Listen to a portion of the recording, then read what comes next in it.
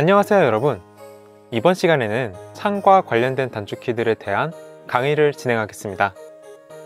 오늘 강의에서 나오는 단축키들은 포스트잇에 적은 뒤 모니터 밑에 붙여놓고 참고하시는 것을 추천합니다.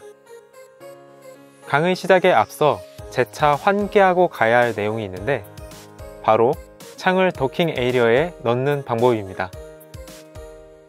집어넣고자 하는 창을 컨트롤을 누른 상태로 click and drag하여 위치시키면 자동으로 창이 합쳐질 겁니다. 만약 중간에 실수로 특정 창을 날려버렸다면 아래 단축키 중 하나를 사용해 살려내세요.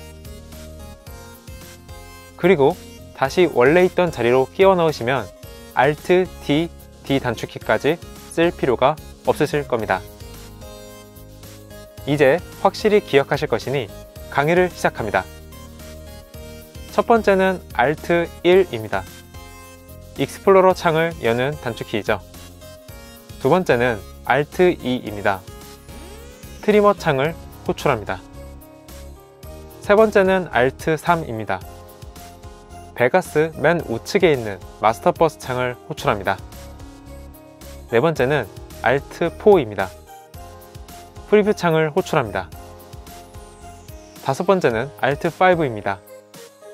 프로젝트 미디어 창을 호출합니다. 여섯 번째는 Alt 6입니다. 우리에게는 많이 생소한 Edit Detail 창을 호출합니다. 이 창은 현재 진행 중인 프로젝트의 모든 이벤트와 마커 등을 감시할 수 있습니다.